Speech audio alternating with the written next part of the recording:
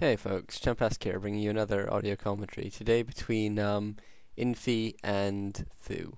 I know his name's not Thu, I know it translates as three eggs from Chinese, but I'm going to call him Thu just for simplicity's sake. And um, Thu, as you may know, uh, is uh, normally a human player, but he doesn't like to play mirror, so against human he plays elf. And um, that's what he's doing today, because Infi is um, the teal human player in the bottom left at the 7 o'clock position, and Thu is the purple Night Elf in the 2 o'clock position. And um, immediately you'll see he has um, an early Ancient of War and his Moonwell going up, and no altar, so he's going to be going for a Tavern build. And uh, actually sent up an early Militia, probably hoping to um, aggro the creeps on uh, the Ancient of War, but since the Ancient of War was built so early, um, Infi isn't going to be able to do that. As you can see, he's going to go up and see that the Ancient of War started a while back, and so he's just going to um, do the standard excuse me, um, you're going to do the standard putting up a farm just in the, uh, next to the Night Elf Tree of Life to see what's happening in terms of tech. And, um, this is very standard at this stage, and, uh, this should probably be building the Ancient of, Al or Altar of Elders, sorry. If not, yeah, there it goes there.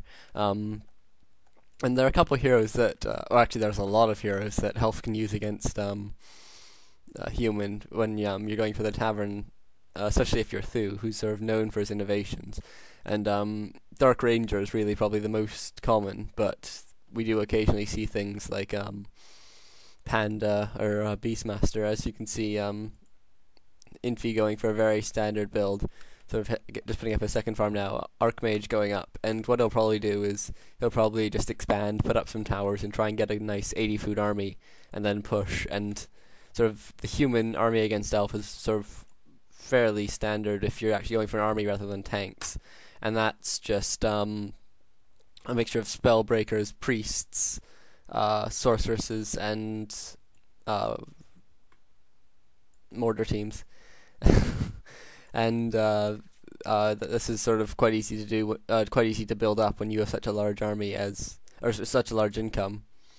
And uh, Infi now just doing some very basic creeping at this point, and Thu is actually gone for the Tinker first and uh, that, that's something that's not overly common. But I have seen him do it quite a few times now, and so it's um, a strategy well worth paying attention to. And with this creep camp, you need to be very careful when you're creeping it. Because uh, Enthu's actually taking a lot of damage on this archer. He'll need to pull it back, and he does actually manage to do that in time.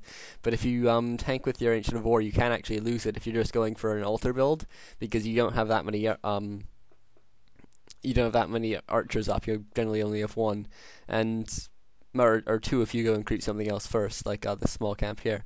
But uh, since uh, Thu has a couple more archers, he's he's about okay, and he doesn't. And you can see even with the extra archers, he still took a lot of damage on his Ancient of War, and that and it wasn't attacking at the beginning either. And he was repairing it with a wisp. So if you are just going to go and creep it first, you want two or three wisps constantly um, repairing it from the start, as well as obviously um, uh, eating a tree healing as well. And um, Thu immediately going back to uh, creep the smaller camp second. Uh, he creeped the bigger camp first just because it means that he's less like he can't be creep jacked at it. And um, Infi putting up a farm next to this merc camp and going, I imagine, to creep this this mine here. You really have two options when you um when you mine uh, when you want to expand. You can uh, the both are sort of almost the same distance apart. And Thu's actually put down a um Pocket Factory just to take out this farm, and that will do enough damage to take it out. And it's a bit of a trade-off, really, because farms aren't very expensive, whereas your mana is worth quite a bit. But uh, obviously, with a just a tinker and getting engineering upgrade second, you generally have enough mana, so it's probably something that's well worth doing. And uh, there's another scout farm here. Actually, I'm not sure um, if that's the most useful place to be scouting for Infi, but I guess he's decided it is. And Thu actually goes to put down another pocket factory and is going to take out that one as well. And Thu also putting up a tree of life in response to the expansion that's probably coming here from Infi. Couple towers first, of course, because it's Infi, but um, that means an expansion will be going down there. And as you can see, this farm is taking a lot of damage, and the uh, Robo Goblins will do enough to take it out.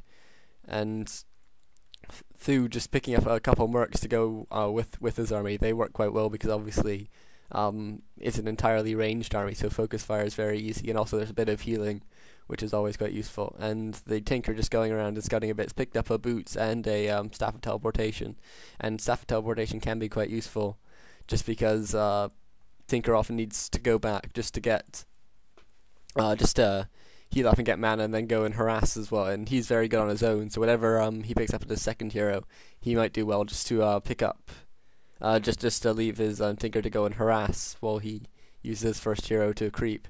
And uh, as you can see, Thu put up a pocket factory in the back of um, the expansion here.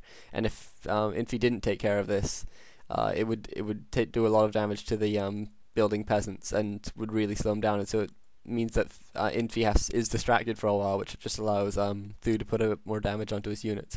And he's now chasing down a berserker. I don't think he'll get him though. And uh, militia actually coming in, just blocking the path, and actually doing a bit of damage to this archer here.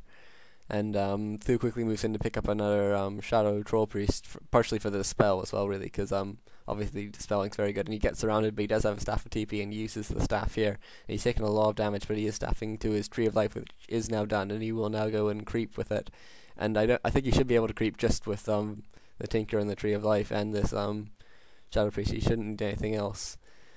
Um, and Thu now moving up, I'm not sure what his tech is like. Yeah, he's just teching he's almost done teching now, and he's putting up a Hunter's Hall as well. So we'll, we will probably see Bear Dryad at some point, even if it is um, not immediately. He'll probably just do Dryads for the moment. As you can see, Infi hasn't teched yet, but he is his expansion is now up and running, and I imagine he'll start upgrading this tower soon because Tinker Harass can actually be fairly effective, and Infi's actually coming in now just to um, attack Thu, whose expansion has taken a lot of damage. Actually, he should get it to eat another tree and should try and keep it away from this Archmage who could. Um, actually, I don't think the Archmage could take it down on its own, but um, if uh, Infi brought in some work, uh, some footmen now, they could do it.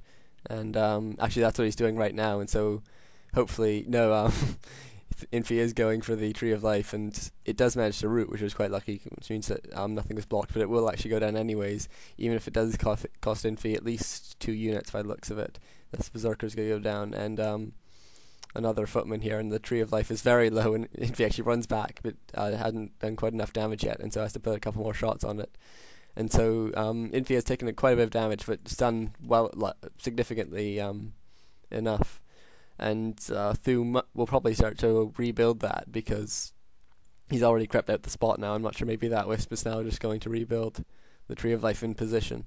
And Inf- Infi's putting up a second tower and an arcane vault just to block off the um uh the the pathing towards the tower, so it's a bit harder to reach them.